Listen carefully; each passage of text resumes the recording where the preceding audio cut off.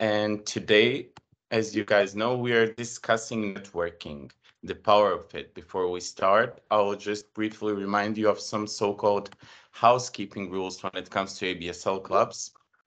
So during the discussion, I would kindly recommend you all to keep your microphones and cameras muted so we can enjoy actually the content and the fireside chat of our speakers today. And a short remark that all ABSL club sessions are being recorded on behalf of ABSL in order to enforce knowledge sharing in our community and will be published on our official YouTube channels and social media.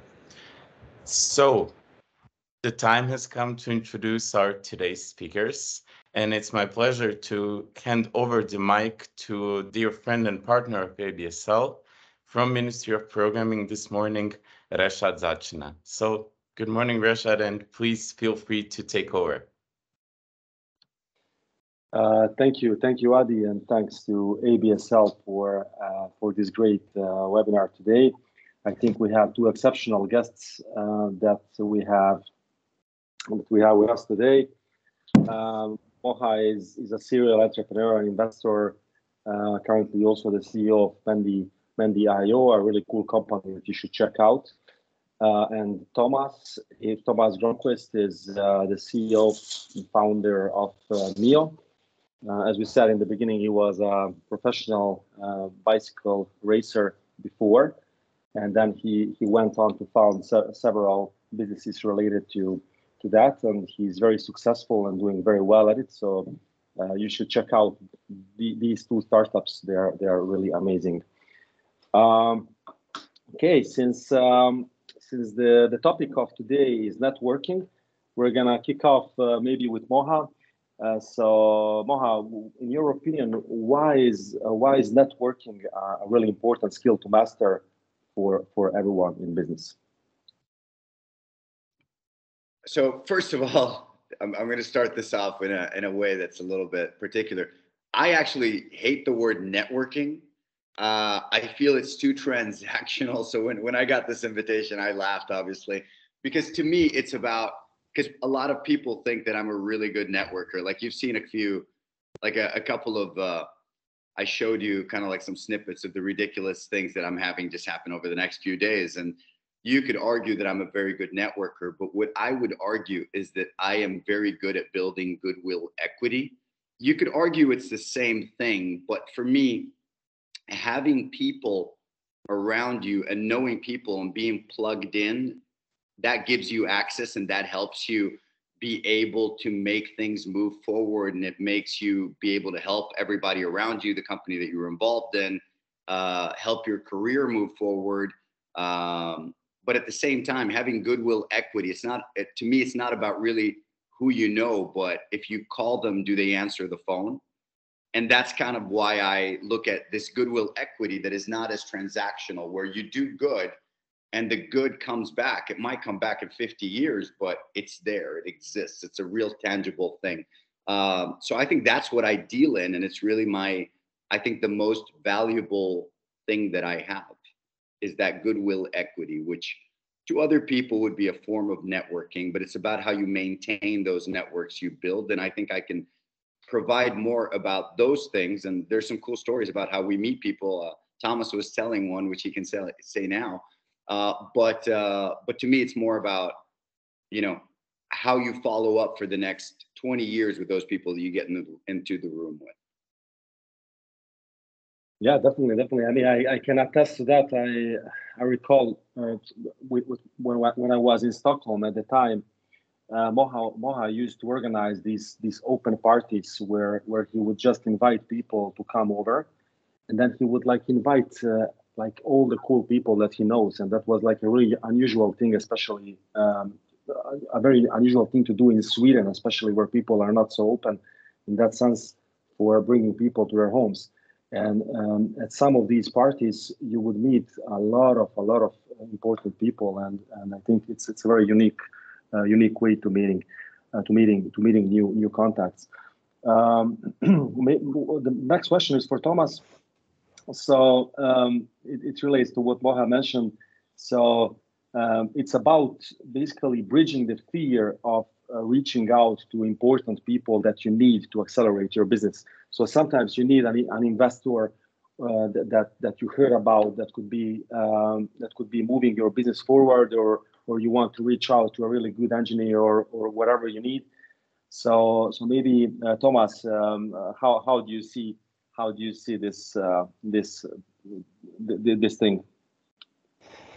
Yeah, I think I might might be the worst person to ask about networking in that context. That networking is about to try in many ways to reach a lot of people. I never organize those kind of parties that Moha is doing, and you know I'm origin from northern part of Sweden where we are famous saving oxygen and not talk so much. So, however, with my personal way of networking, it's more about targeting people and having a clear purpose that I would really like to meet this person uh, with a specific question or this person I could help or he or she could help me with something. It's it's more uh, my way of networking, I would say. So uh, yeah, when when I uh, exit from my last company, I set up one rule for for the future, and that was like first first who, then why and what. So I, I, I think I waited for one year and then I heard this uh, podcast with uh, Johan Attby, who is the CEO of FreshBrain, when I felt like I really must meet this guy and present my idea because I knew that he had an interest in cycling.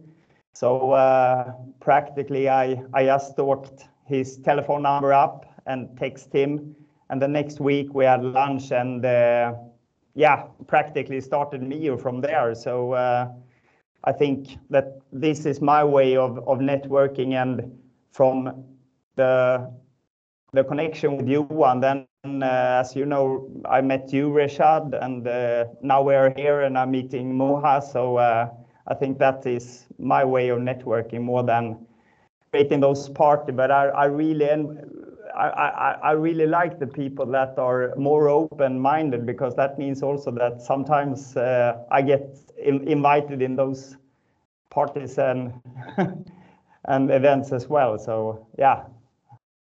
That, that's very cool. I'm, I'm from Costa Rica, but so for me, the whole idea back then wasn't really about. You have to understand, I'm an immigrant in Stockholm, and back then, me and Rashad were broke. Now Rashad is doing way better, you know. Uh, but you know, w- to me, it was basically about meeting cool people and having kind of like that extended family. Like I'm here in the cold in Sweden. I wanted to have cool people, and some of those people happened to be very successful. Some of them were more broke than I was at the time when I had just come back from. I just got into Sweden from Libya, from my time in Libya, even though I'm from Costa Rica.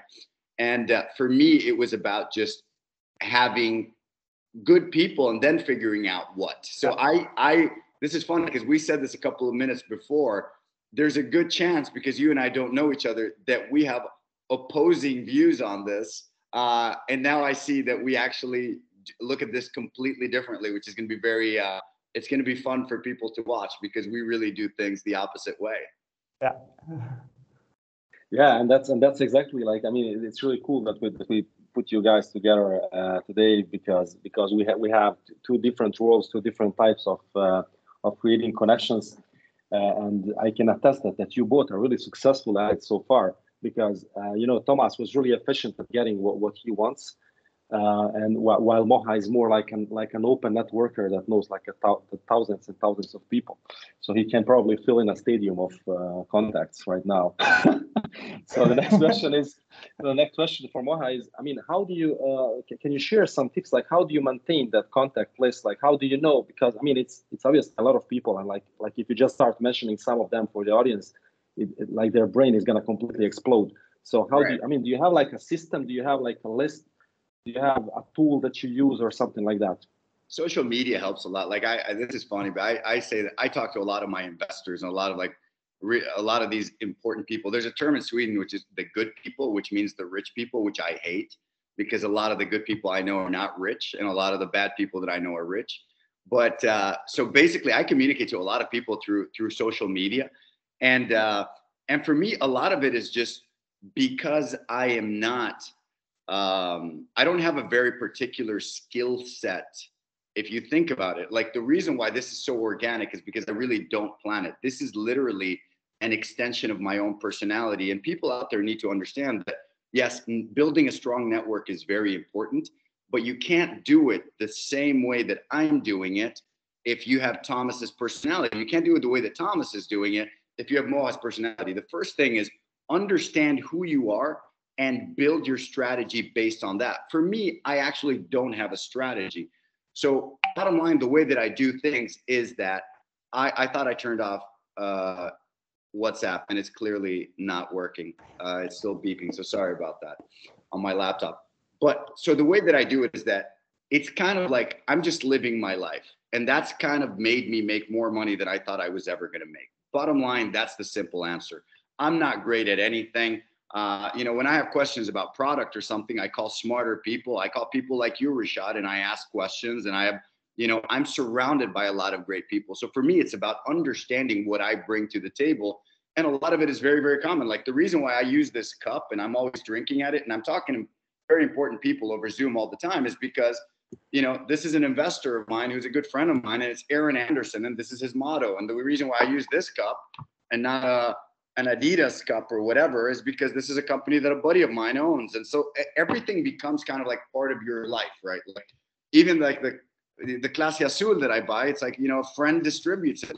So a lot of my life really becomes about these very well intertwined connections. Like I invest in people and they become my friends and if you're not my friend i'm out of your company and it's kind of like that's kind of how i do it which i guess that many people could consider is a way less efficient way of doing things than thomas does and you could argue thomas is way better at this.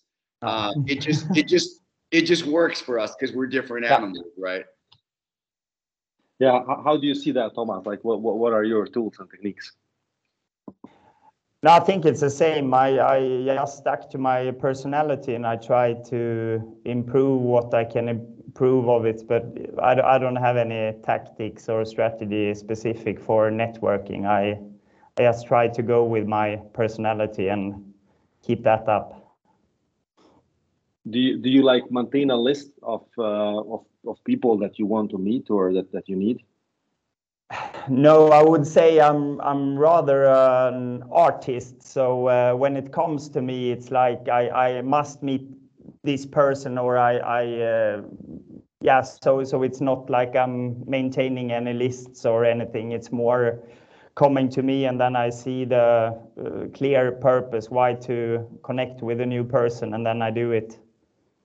That's a great question because, for example, you say that you had spotted Johan, you want to reach out to him and you had a plan. Me, I've never even done that. I've never done that for one person in my life. So I've never said, I want to meet, you know, Rashad. So I'm gonna. This is my strategy. Like, I mean, I've DM'd a lot of people. Like, I've I, I'll like message people that I'm like, hey, it'd be great if we could meet up. That's how I've met some of my my best investors. Uh, you know, one of them I'm having lunch with at. Uh, well, I don't have lunch. I only eat at night because I fast. Uh, but uh, she's having lunch and uh, at Riche in about a couple of hours. And, and that's how it is. I'll just send an email. It's like, hey, you know, my name is Moha. I'm doing this thing. I'd love to meet you. You want to come over to my place for a fika? And she's like, okay. And mm-hmm. that's how it works. And networking, there's a lot of components that come into it. I think the most important thing, if you want to build a strong network, goodwill equity, because the word networking really does sound like I get this image of an escort on a private jet, which there's nothing mm-hmm. wrong with it, but that's kind of like how I see it. It's too transactional. Um, to me, goodwill equity is a completely different thing, even if there is money and investment and connections and help and even nepotism involved, which I don't have a problem with a lot of those things.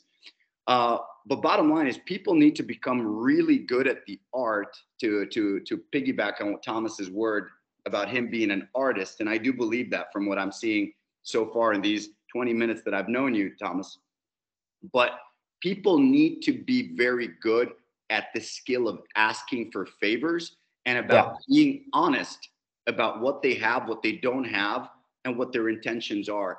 People use networking as a way of, okay, here is X person, give me the name of any entrepreneur, any whatever celebrity, any investor, any whoever it is.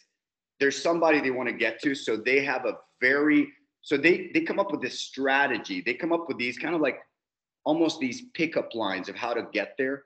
And people can see through that. And even if you get success, the runway to that is very short. You can only do that so many times.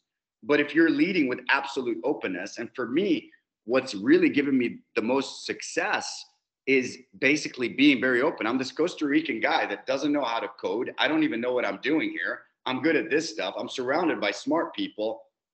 Let's get together and let's figure things out. I don't have an ask. And if I have an ask, I'll say, This is my ask. The way that you ask for things, that builds loyalty because that's how the brain works. Uh, and obviously, I work with a neurotech company and I understand a bit about the brain, and we can get deeper into that if you want. But to me, the most important thing is to be in the right place. Stockholm is incredible. What you guys are doing, MOP in uh, Sarajevo, you know, I'm very proud of you, Rashad. I love you, man. And I, I think what you've built the past eight years with your brother Faris, who I love dearly, um, is is unbelievable. Uh, and I think what you've done for you know for that part of the world is remarkable. And if if I was you know if I was in Sarajevo I would figure out a way to get into your circle. Um, just because you guys are really good people, to be honest, and I and, and I see how you take care of your team, and I wish every company I'm involved in had your values. Uh, they don't all have the same values, unfortunately, and that's life. Uh, but for me, it's try to get in there, try to build those relationships, and see what comes of it, and just be clear with your asks. I'm sure if I had just landed in Sarajevo and I came up to you and I asked you for a job, I would get it um, because it's it's that art that Thomas talks about. It's you know it's it's an it's a very tangible intangible. Yeah, yeah, definitely, man. I, I think I think there is like a good point here about um, about having the good people around you and trying to uh, hang around the places where where the where where the smart people are and the good people are, and and this is something you know that that kind of changed uh, in the, in the last couple of years after after COVID because um, you know people started behaving differently. First, uh, during the COVID time, we, we know about the the, the huge rise of uh, of the online platforms and uh, using overusing Zoom and uh, Google Meet and Teams and whatnot. So people got used to, to talking to each other just like just in that way. And uh, what what at least I see now is that you know people are starting to change their behaviors a bit and uh, are are meeting each other in a different way.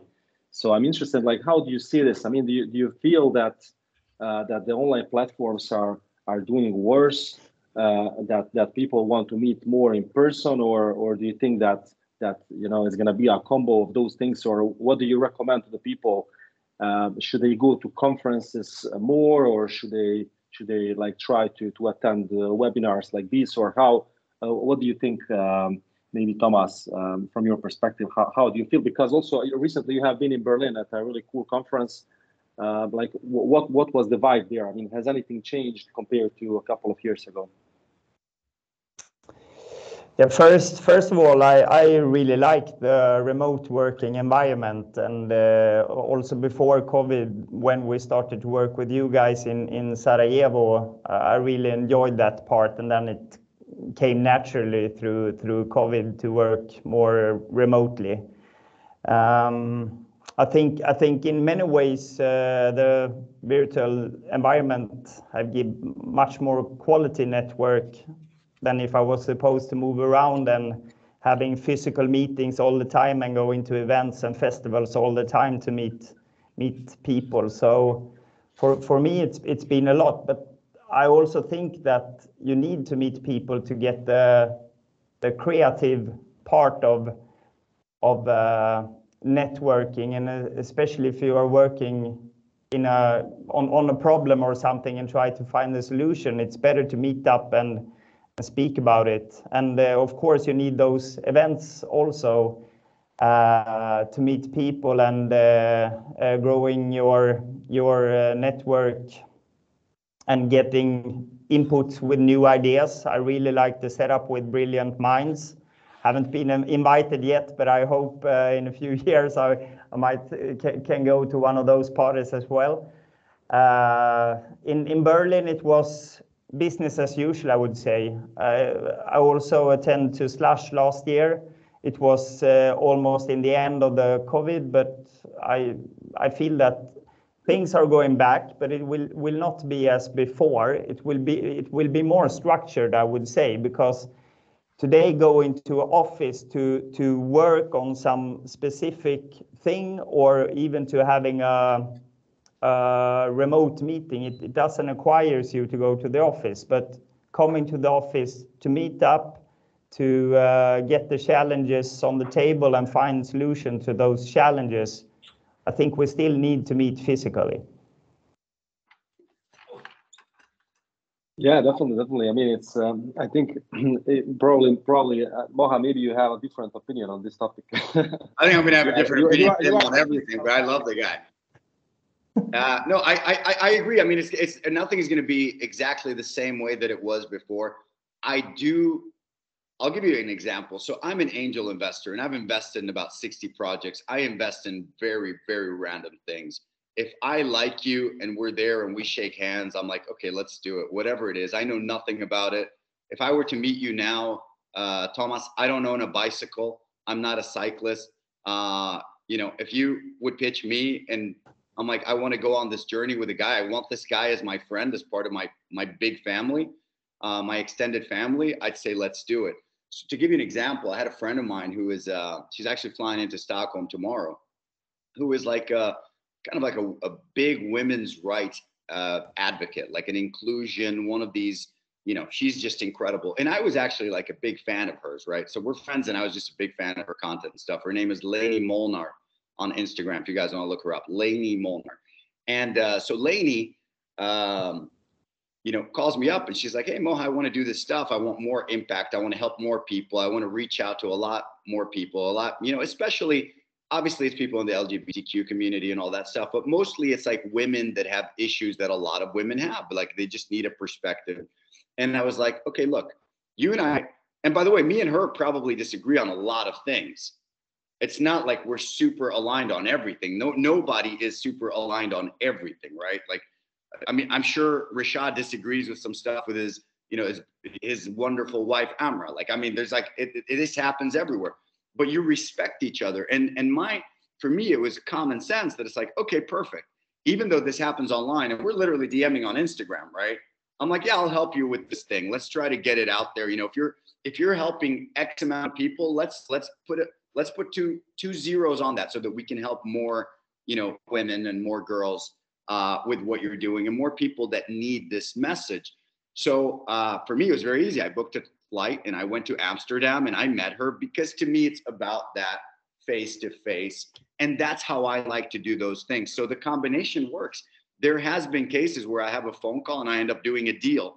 But then for me the next thing for me is like okay when are we going to meet face to face so it's uh yeah, I, I, I, I, I don't know that I disagreed that much about Thomas. I don't like conferences that much. I don't go to like events. I was at Slush for like one hour. I flew in and flew out just to go see my a friend of mine be on a panel.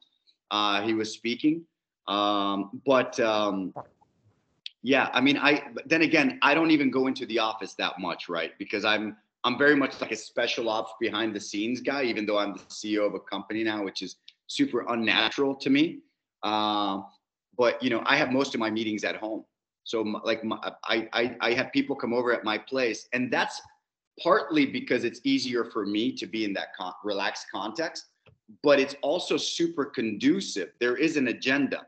It's a huge shortcut because any progress that i can make in anything with you thomas for example if i'm going to do a partnership with your company if i'm going to do an investment or something if i go to your office that environment is way less conducive to us getting something amazing and literally kind of like leaving being family and saying, let's do this together, let's go all in. That probably happens a lot easier, you know, at my table at home over a drink. Um, so that's kind of like how I see it, and that's kind of like how I live. I, I there's a the skill set that I have there's a lot of bartenders that have the same skill set and there's a lot of selfie stick salesmen that have the same skill set. I'm just in an industry surrounded by so many smart people that allows me to make a lot more money and that's why people have an interest in what i do. But my skill set is really the same skill set as a really good waiter that looks you in the eye when they bring you your food. It's just that i get paid millions and not hundreds yeah, I think I think this is an interesting interesting view because you know I mean there are like the old ways of, of doing business, which is uh, you know um, like the the networking term and uh, like how to connect with people. You go to a conference, you uh, you meet through, and like and there's like a modern way of of, of connecting that maybe Moha is using, but uh, you know I think I think the essence is um, if if you do things a bit differently uh, than everybody else is doing then you can then you can really reap a lot of rewards. Uh, because I mean, even what you are doing, Moha, is really crazy, right? I mean, nobody does that, like like like pretty much anyone. But also like the example with uh, with Thomas and Johan, where like he he, he sent an he stalked a guy online. He found his number and sent an SMS. Who gets an SMS nowadays from from anyone, man? I mean, like like people are even not using that that shit anymore. And in a way, you know, that's that's like a differentiator, right? Because because if you do something differently, then then people are gonna notice it. I mean, I, I haven't received an SMS for the last I don't know three months. So so it's like you get an SMS from Thomas and like let's work together and like oh, oh my god, I got an SMS. Interesting. Let's do it. And uh, and I'm gonna tell you about one story. Like uh, when when Amra and Faris were were at Web Summit, uh, I don't know, a few years ago.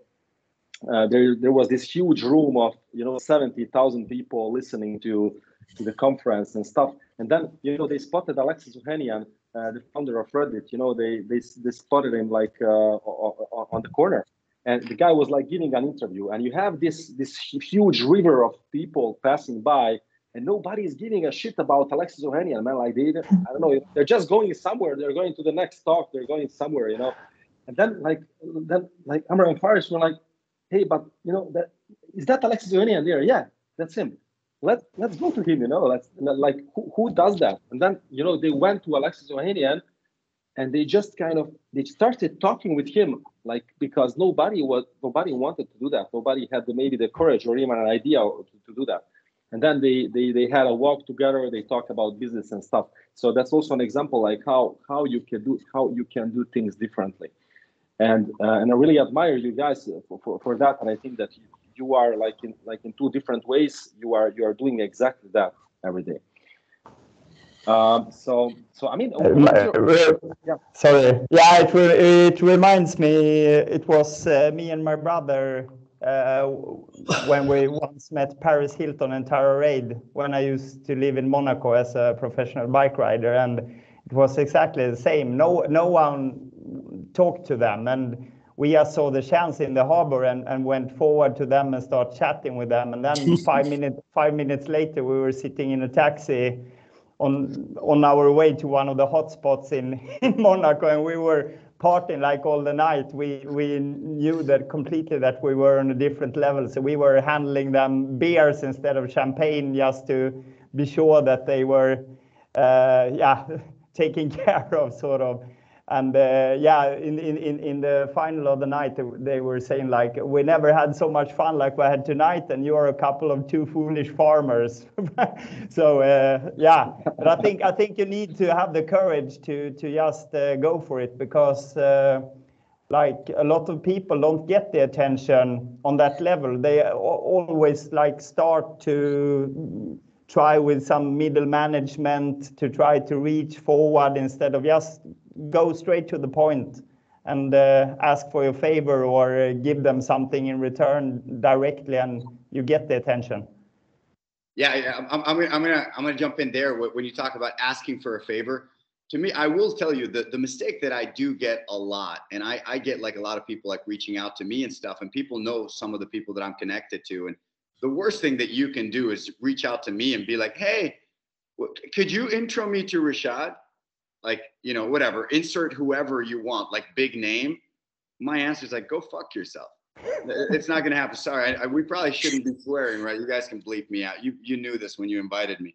But to me there's, there's like a way of doing things. It's just like there there to me there's a i'm very about black and white and what's right and what's wrong and what's acceptable and what's not.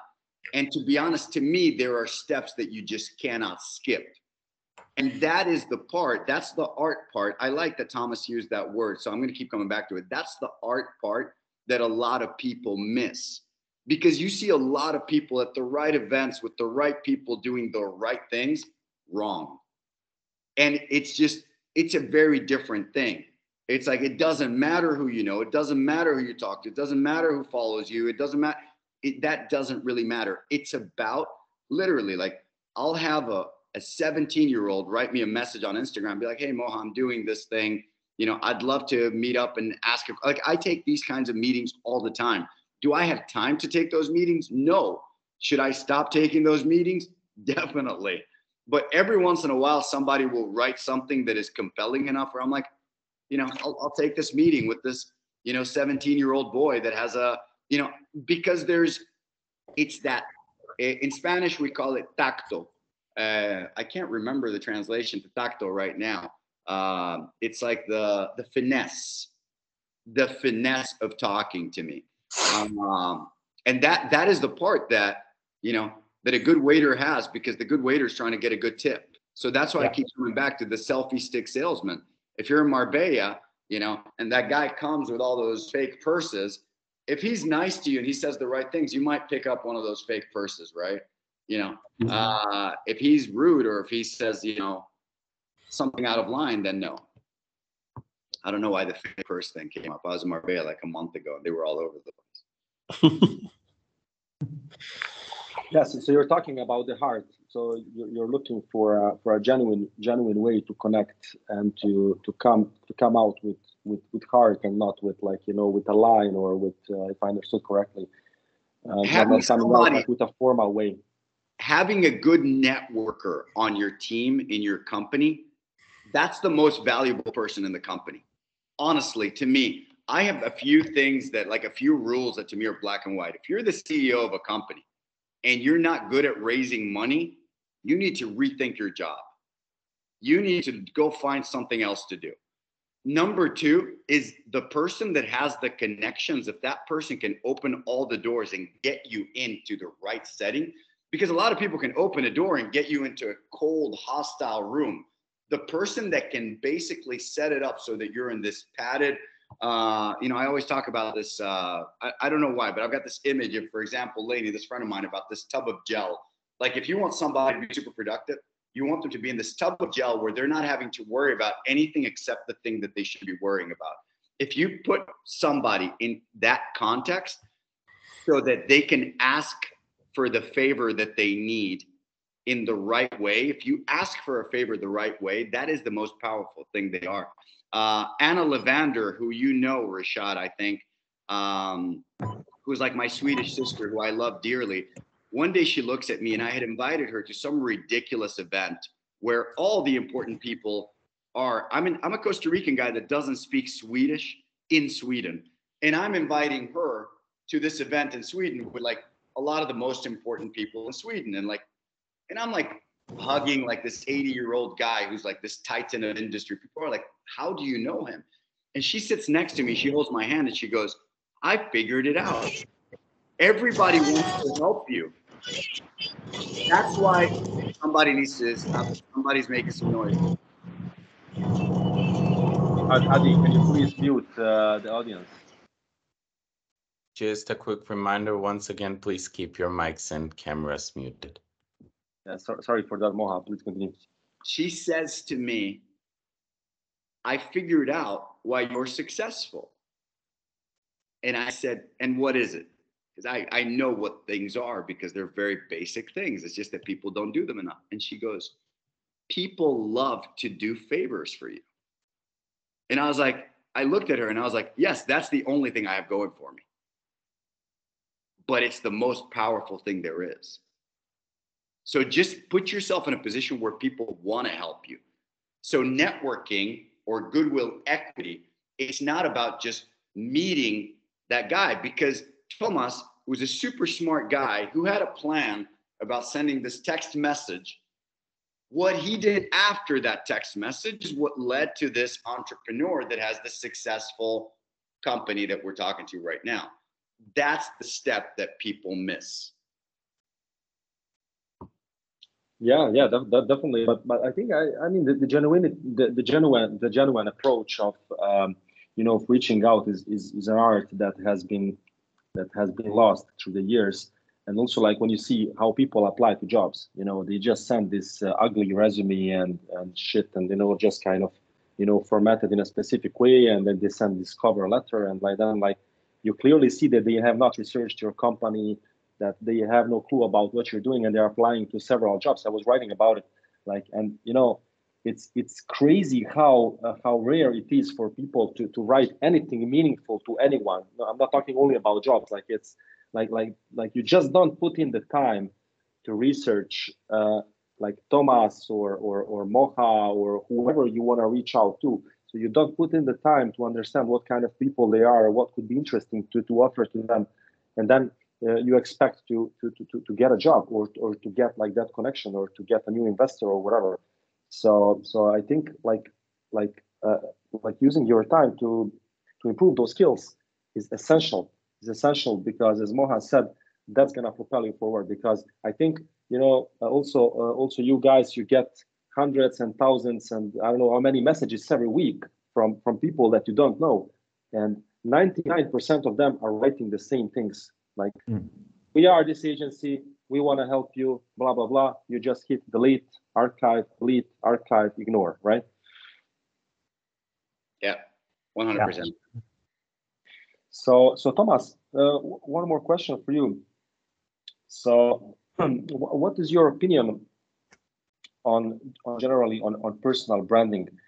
Uh, so and and that con- and that connection to to the outside world in terms of uh, like how do you how do you see yourself from that angle like and how do you i mean do you think that's important or that's not important or like uh, what, what is your, your idea around that yeah actually actually i have never thought in those terms for for myself or how to act it it, it goes back again to to who you are as a person and that's why may, maybe also why i'm talking less than moha at the moment because i i I'm uh, yeah yeah I, I, I would say I think pe people needs to meet me uh, live to to get the experience of how how I am and and what my personal brand is. So I don't have any kind of like outgoing. We're we're doing some work. I, I was I was uh, churning from Facebook very very early. It's about like eight years ago and so, and I haven't haven't used any social platforms until I started MIOO. And the purpose when I when I uh, logged into LinkedIn and, and starting to uh, be more present there, it was more about telling the story about cycling in general and why cycling is so important for the humankind, rather than trying to reach out for employees or something. It was like here I have a platform and I can use the platform to, to bring my mission about cycling and why more people should bike in general uh, all across the world. So I, I wouldn't say I have any particular answer to how I try to build a personal brand or something. It's, it's more uh, coming natural, I would say. Yeah, I specifically asked you that question because because I, I I know that that you don't have like such a strong presence, but you you are like very kind of selective on what kind of activities you do, which is exactly the opposite of what every, everyone is doing today. So so like usually like if you ask the young people today, uh, they all have you know TikTok, uh, Instagram, whatever, blah blah blah. And they're spending huge amounts of time there. So so and then, uh, then then then the natural question is like how how that translates to business because also I know, for example, Moha, Moha is very like active on Instagram and and and like I would love I would love you Moha to explain like how you use Instagram because you use it like as a business tool. You you, you are you are. Uh, can you explain like how do you engage with with all of these people and how do you because I, I know that I mean as I have as far as I have seen your main tools are WhatsApp and Instagram and many people from the from the industry they are not aware that those tools are where sometimes where business happens. It's not the email or, or LinkedIn or, or, or whatever. Sometimes it's more about these more personal tools for, for specific people. I, I've, closed, I've closed investment rounds on Instagram and WhatsApp. I've done like literally like it's, and yeah, more than a few. And uh, t- like I, I don't even check LinkedIn just because I get spammed so much. Uh, and emails, a, a lot of stuff, you know, gets missed, unfortunately, just because there's so much spam. Uh, but I will tell you, when it comes to personal brand, for me, it's about knowing what I am. If I go out there and I'm bullshitting people and I'm saying that I'm the best in the world that you know, deep machine learning, people are going to call my bullshit immediately. And that's going to get me one paid gig and I'll buy a car. And then that's the end of the road, right? Like that's, that's basically the opposite of what I do. So for me, it's, uh, it's, it's very clear that I need to just know what I am, look myself in the mirror and say, this is what I am. That's your personal brand. Like, and it's very, very powerful. I had this, um, this guy from Rågsved, which is a small town here, uh, in Sweden uh, very large. Uh, you know, I'm, I'm not going to say his name. People will probably figure out who it is. A very large, uh, fantastic guy. I trained with him in LA. We did a session at Equinox a couple of months ago. Very big, very good-looking, super muscular uh, black guy, and he was telling me that he moved to LA because in Sweden he's always going to be the black guy. And I said to him, "That is so strange." Because to me like you clearly think the opposite of me. Because if i was you i wouldn't go to la where there's a lot of really big really muscular black guys. I would have stayed in sweden and i would have really doubled down on the fact that i'm the guy with the body in sweden right? Because for me it's all about differentiating yourself and leading with the things that are obvious. So for me it's the costa rican guy with the six pack so that creates that that authenticity creates the trust like you understand, like it's a very yeah, and and to, and people in Sweden at first are like, why is this guy, you know, why is this guy always shirtless? Well, I'm like, I'm from Costa Rica. You go to Costa Rica. If you if you go to my country, we're always shirtless. Like I I wouldn't own a shirt. I you know I take uh, I you called me on Instagram. I take video calls with NASA shirtless, you know, from from my gym downstairs, and I'm just like because to me it's about and nobody's gonna look at it and be like, you know, Terry Rector from NASA doesn't look at me and is like, oh, this guy is creepy. No, he's like, this is the animal I'm dealing with. So for me, the personal brand is literally just exaggerating your real attributes. That gets prostituted if you start faking it. If I pretend that I am something else, then it's absolutely unauthentic. I could make money in the short term I could, you know, create a following. I could create whatever, uh, but that does not have the runway, the longevity that that authenticity will have. You know, uh, it's like it's like truth. The beauty about truth is that you never have to remember what you said. You know, that really comes down to branding. Like I am exactly the person that I am on Instagram in real life. So when you meet me, that's why everybody thinks I'm so consistent now, if you think that I am consistent, would you invest in a project that I start? You know everything about me. And you're okay with it? Yeah. That how would you not invest? To give you an Yeah. example of, a, of a, like a transactional connection to to the brand. Yeah, I mean, I think it's very unconventional. Honestly, like like a lot of people are, are, are probably shocked right now when they hear this kind of stuff because I mean, but but you know, but but we have seen that. Uh, uh, you know, uh, I mean, for the audience, it's it's important to know that. I mean, we, have seen this in, in practice. So what, what Moha is saying is because a lot of people, when, when Moha talks about this stuff, they think he's bullshitting. But you know, like like he lives that kind of life that you see on Instagram. I mean, I remember that I don't know, like Far, Faris met uh, Daniel Ek, the CEO of Spotify. He met him in the gym with Moha because Moha, Moha and Daniel are, are like uh, are uh, like household friends. So so it's like like it's it's it, it's crazy like like the way that that you're able to meet people with Moha. I remember like once he said, "Let's just walk to WeWork," and then we walked like for I don't know like seven kilometers because he has a six pack and I don't. But like you know, I, he just kind of loves to be active all the time. And then he said, let's walk to WeWork. And then he, he enters WeWork and then he just starts saying to everyone, hey, this is Rešad. You know, he's a really good like uh, tech guy, whatever. and then uh, like suddenly I have like uh, six or seven contacts in my hands. You know, so so it's it's it's it's it's just it's just completely crazy. So, but I think it's important for the audience to hear this because um, some of the things that, that, that you guys mentioned is is is, is incredible and it's gonna help uh, people to progress forward. So if you like, maybe now we can take a couple of questions from the chat because we have we have um, uh, we have two so far. So uh, one of them is for Moha slash Tomas. Do you think that overall fame? It's from Lucas Lundgren. Uh, like uh, so, it's. Uh, do you think the overall fame that you have gotten with all the success is also a factor that earns people time, open doors, and allows you to take that fika lunch, whatever it is? And if so, how would you get about to increase that world awareness on yourself?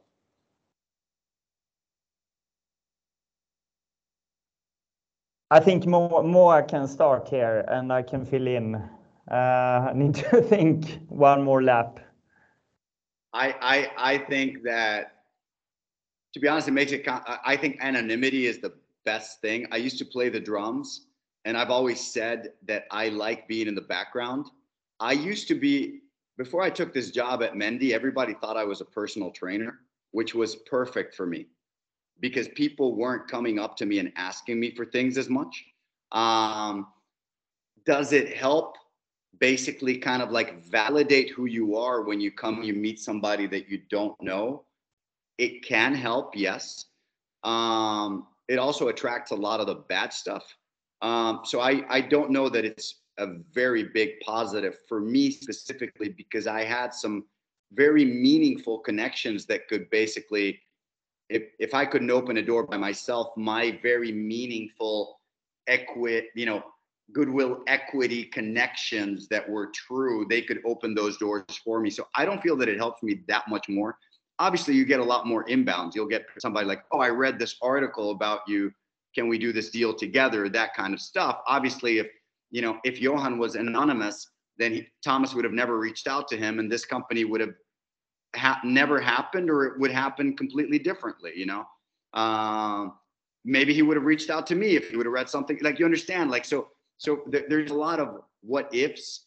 Um, i think for most people it could have a lot of value. For me it doesn't have that much value and i would have rather remain anonymous and i never wanted to be ceo um, i've always said it's the worst job i still believe it's the worst job uh, and I can't wait to hand over that job, if I'm going to be completely honest, and go back to what is comfortable to me, which is being in the background and uh, and doing what I do, which is uh, what I do. Yeah, Tomas, how do you feel like about this? Like, is is is the progression of MIOO right now and the companies is it helping to get like more of these inquiries and opening doors uh, more easily? Yeah, but I would I would still say uh, maybe it's it, it's more the opposite. I would say where we.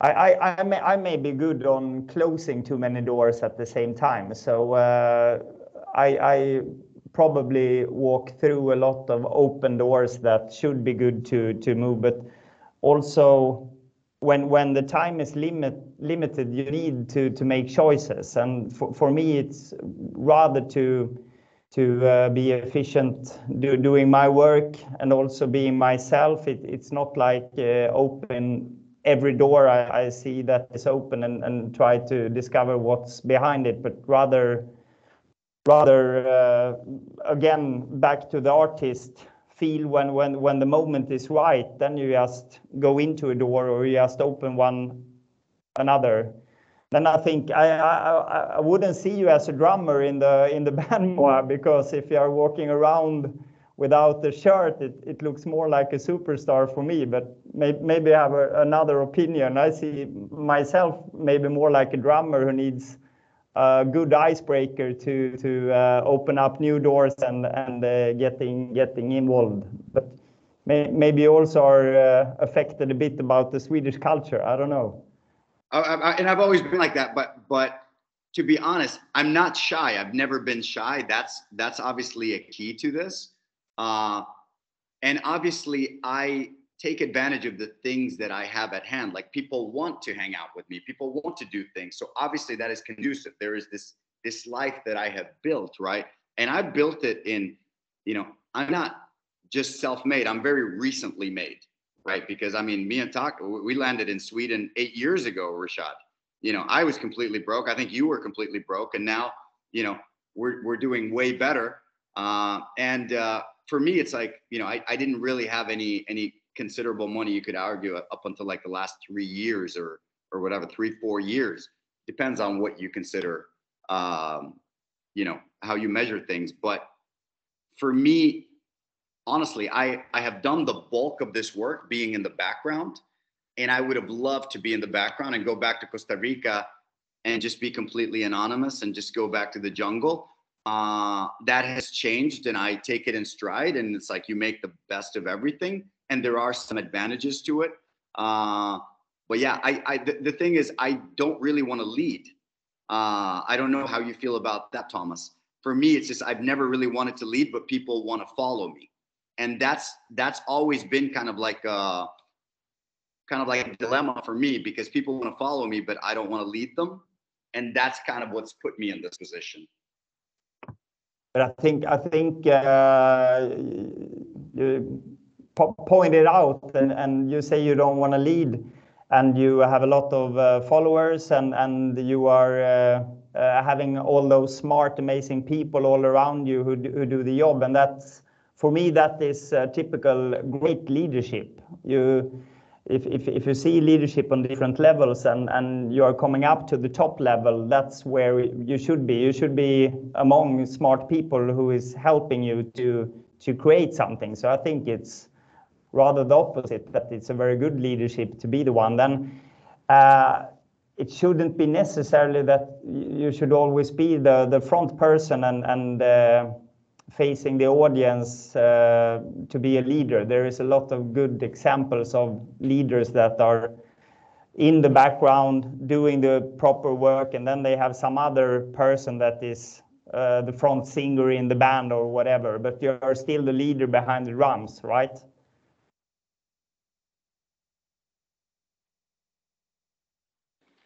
Yeah, I mean, I mean there, there, are there are many ways in how how like uh, leaders are born. It's interesting to, to hear like uh, how you guys how you guys feel about this. But uh, but yeah, I mean, it's uh, I think sometimes sometimes like leaders are elected or they elect themselves. Uh, but uh, but usually, you know, people say it's it's more like um, you know you are either a natural leader or not, and people recognize that. And then usually, like it happened to you, Moha, like people just recognize you as a leader, even even if you wanted maybe to be more like in the background and doing your thing. Um, we have a couple of yeah yes sorry sorry yeah. please Tomas. Sorry no no uh, I see like if if if you have the if you have the mindset that you always want to be unemployed yourself, like Moha is saying, that I don't want to be a CEO, that's the best way to work and build an organization that helps you because that always pushes you forward, getting smart people in place that could help you so they are working independently rather than you are saying to them what to do. So I think it's that with that mindset, you are a perfect leader. Definitely, definitely agreed. Uh, we have a few more questions in the chat. So uh, we have a huge one from from Stevan, um, which is um, I, I, I, I'm, I'm trying to to to uh, make sense of, of, of, the huge text. So uh, so maybe I don't know. Maybe Stefan can can ask it live. I don't know if that's possible. Uh, but it's around intent. So intent of doing meaningful business together. And well, like, I might uh, join with the uh, with the please. Hello, guys. So basically, there's a neighbor. He's drilling all the stuff at his home. It definitely feels like an alien dentist this. Sorry about that. Hopefully, he doesn't uh, tune in again. So basically, I've been a sales guy for 12 years, and I thought that this is a very interesting conversation that I might continue and basically see your uh, opinion on this. You know what I've seen that basically there are like two kinds of people in the sales role, and I think there's a direct parallel with networking and what salespeople do. Usually, you you have business developers, so those are people who are actually very good at opening doors, and then you have people who are executives or deal executives who are uh, very good at closing the deals in a sense. And what I've noticed at the conferences and other stuff is that the best people, the golden people out there, are those that know how to do both in a sense. And very rarely you have the full cycle person who knows how to strike the goal or actually strike the aim on both sides of the coin. And what I've seen is basically that these door openers uh, are good at actually being very empathic. So their intent is actually to understand the person and that the, the, other person doesn't feel that commission breath, let's call it from a sales perspective. You know, you, you don't stuck stuff in his throat, let's say down his throat. But the problem is that you know the relationship won't go forward if you don't have an actual intent to do something productive. And usually these people don't do that. On the other side, the door closers have that intent to actually do something productive, but they're not necessarily very empathic. So I think this is a combination that kind of works wonders uh, in that domain, and kind of it's very direct parallel with the sales role. I'd like to hear your take on that side as well. Thanks. I, I, I can take that. So I love sales. I think sales is, is probably like my strongest suit. I used to, uh, one of the, the three jobs I've ever had, I, I, I've been a teacher for a long time and it's one I enjoy the most. Uh, a grammar teacher, which is something very few people know. But I used to have a job uh, straight out of high school that I took where I was selling these, uh, you know, pay as you go tourism plans in Costa Rica. Like in Costa Rica, it's like we got these nice beaches. Everybody wants to go to these hotels. A lot of people can't afford these hotels. So you get this thing and you get your dream vacation. You pay for it for 24 months. And I was so good at selling these things that I was making, I literally bought my first car in cash before having a license, like as a kid. Like it, I, so I love the process of, uh, I wouldn't say I'm the best guy at doing the research for what needs to be done, but I'm definitely a closer and I am great at opening doors. Uh, and network does help, but it's really not necessary if you're a good um, if you're a good salesman. You could argue that not even a very good product can be very easily sellable if you're a good salesman. That's that's my experience. Uh, but obviously, having a network, having a good product, having somebody map out what scalp to get. This is what I always tell my team. It's like just found me find me the hardest thing that we can get, and that's what I'll get done. I say that to all my companies. It's like just tell me what scalp to bring you, and that's kind of the thing. I always go back to I don't know maybe my war days, but uh, you know I'm a soldier. I'm not a general. That's why I think I keep coming back to the whole not being a leader. I'm the guy in the background.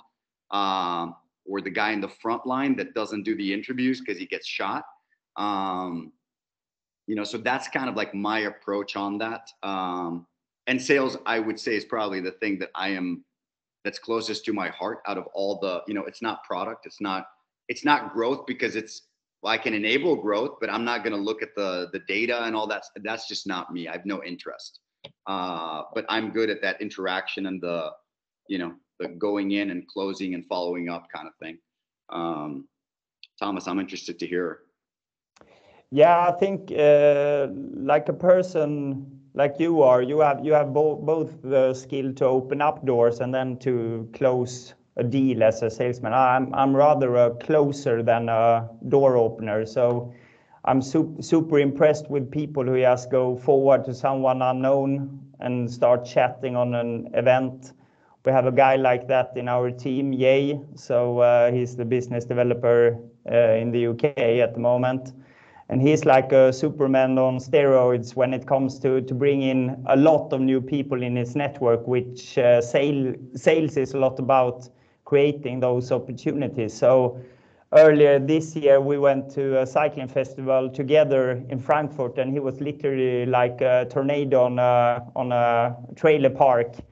So uh, he he was like going to each stand saying that, "Hi, I'm Jay. I'm from MIOO. Do you know about us?" And then uh, we could start from there and uh, going forward to close some very important deals for us. But I uh, would say that either you team up with someone and you're having the both skills, both open the doors and closing the deals, or if you are if you are able, capable, like a super salesman is doing both, I would say to give you an example, so the, the, the, one of the things that we did at Fishbrain when we scaled is we were in Florida, we were in Tampa Bay, and I I used to get these people uh, who were uh, you must remember this Rešad from the and we used to get uh, I remember I, I had also reach out like DM a bunch of people and I was like find me like girls with a fish like and stuff on their Instagram. And it was just stuff like that, like guys that are fishing that have like that are bragging about their catches. And basically what we would do is we would go to the fishing shows and we would get people to start telling the people next to them to download the app. And that's how we scaled it. And I'm sure you guys are using some of those tactics, which is, you know, in 2014, this was pretty cool and pretty revolutionary, you could argue. Right now, it's like, but it was it, it was a lot of that analog just go in there and get it done very very quickly just basically get through the door and close as soon as possible it's kind of like one of those um, this is kind of how i approach sales is you know those game shows where you would have like a like a cart and they'd be like you have one minute to put everything in it that's the thing so the business development is getting into the supermarket and the sales is putting as much into that cart in those 60 seconds so that's kind of how I approach it. And that was the approach with Fishbrain and with every company I've been involved in. Yeah, also also MIOO, what MIOO does is is you know they are very deep in the community and and they are there with the people that have their hands dirty to repair the, the bikes. And and one cool thing that Tomas does, maybe maybe Tomas you can tell more about it, is is having these barbecues where people meet and then you know they get to know about that. Maybe you can just spend like a couple of minutes to to, to say, say say something about that. Yeah, so since our our platform is uh, Airbnb practically for uh, people who can fix bikes, and then you have people who just want to ride the bike. So what we see the most important of, the community building for us is to build uh, the supplier side, and so that's why we're doing a lot of physical meetups. We are doing barbecues, we're doing cycling together events and stuff like that, and it's so fantastic to see uh, how how much engagement we are creating within this community because this is not again uh, something that we have put on strategical level from the beginning but now we see it as a very important thing for the future because we see that the, here is where we create uh, true engagement we can see it also through the digital channels where they are chatting with, each other, giving uh, tips on how to fix a bicycle or where to find the parts and everything like that. So uh, yeah, it's super, super important for us to build a community feeling within the true engagement. I love that. That's no different to what I do. I mean, that's, that's, I love that. Invite me to the next barbecue. Yeah, man, because, because in the end, to put it simple and to maybe uh, go, go towards the, the closing words for, sorry, Eddie, we're, we know we are over, uh, we are like uh, already like overboard, but uh, no you know, eventually people want to have a burger together and want to meet each other, and and that's that's how communities are built. That's how how networks are built, and and now. You froze. Uh, yeah, Adi, Adi, please. How much time do we have left? None. We, we didn't we hear that question. four more you part of minutes. that. You froze for like Uh, 20 seconds, Rešad. So, sorry, can you repeat, Adi? Yeah, we have Can four we more minutes, more but you were frozen for a couple of seconds. We couldn't hear you. All right, all right, sir. So, so maybe if you want, we can take just one final question. Uh, there is uh, a lot of love for for for Tomas and Moha uh, in, in the chat. I don't know if you had the chance to read it, but like people are loving the webinar, but probably because it was like a very unusual conversation around this topic, so which uh, is very unique. But yeah, maybe I don't know. Maybe we can take one more. Um, maybe for um, for for for both of you. Maybe Tomas can start as a fun thinking exercise. How would you connect to Elon Musk to have a lunch? Uh, that's a good one. That's a good one. Um, I, I'll take another question because I'll be meeting him. So that's not that's not really really. very So, so, so interesting. Already knows Elon Musk, so, so it's only for Tomas. go on, go on. How do I do to meet to meet Elon Musk? Oh, you're asking me how you're going to meet him? Yeah. Uh, just be at the right event with the right people and just uh, get in. I mean, it's no different than meeting. Uh, I, I don't know if a text is going to cut it because he probably gets a lot more texts. But what you want to do is honestly, like if I, if we, we, you and I were supposed to plan this out, meet somebody that works in his environment and just get in and be serious about your ask and bring something that's big enough that he's going to be interested in it. If you're if you're looking at from a work context. If you're looking at it as, hey, we're just going to have tequilas together context, which is how I mostly do things, Yeah. it's even easier, but you need to have that skill set. You need to be somebody that he'd want to have tequilas with. Yeah, and also and also, I mean, the problem with these people is that they usually have a lot of layers of, of people in front that are handling these kind of partnership requests or uh, or connections or whatever. But you never so- go through official yeah. channels. I'm anti official channels. Like if I want to meet Rešad, I'm not talking to whoever at MOP that's at the front door. Like, dude, I'll I'll I'll figure out what gym you go to and I'll come up to you and I'll shake hands. Like the power of a handshake, it doesn't matter who you are. Like that's it. Like when you when you when you feel a handshake, that's that's why to me the face to face is so important. Yeah, and you, and you have a strong handshake, uh, man. I mean, like I can tell that, like you, you are living in the gym, so so it's that that seals the deal. so okay, maybe one quick question, um, like uh, from from the audience as well, um, is from uh, maybe from Amar. Uh, if you can go back in time when you were 19 years old, what what would you do differently in terms of habits and uh, approach? I would I would like to say that I uh, would like to be more extrovert, but I'm still struggling with that with that part. So, uh, but there is so so much for a 19 year old person to do and to uh, explore in life that I have two kids now and then suddenly you realize that uh, uh, there would be so much more opportunity if you were a bit more extrovert during during those earlier years. So uh, yeah, I, I would say that.